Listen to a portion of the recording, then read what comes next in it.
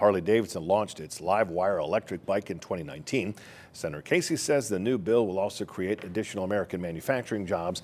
The Livewire motorcycle is built by union workers, as are other Harley Davidson motorcycles. So let's go back in time with the Harley electric motorcycle. November of 2014, I got an opportunity to ride one of the first Harley Livewire bikes.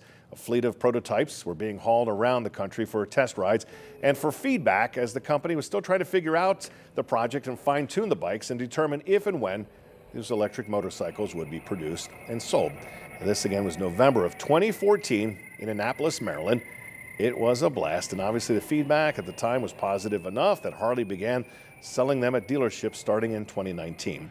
If you'd like to, you can see this original report from 2014 right now on our website, fox43.com. And I can tell you, yeah. uh, they have changed them greatly. Then, one charge would get you 50 miles. Okay. Now, the one's being sold 150 miles, but it's still quick, like 0 to 60 in right. three seconds. That's the big difference, yeah. right? Is the fact. and you can see me with a goatee and not so gray hair too. Another big is, difference. This is why I tune in to watch. We need to bring the goatee back. Am I yeah, right? I'm not so sure about that.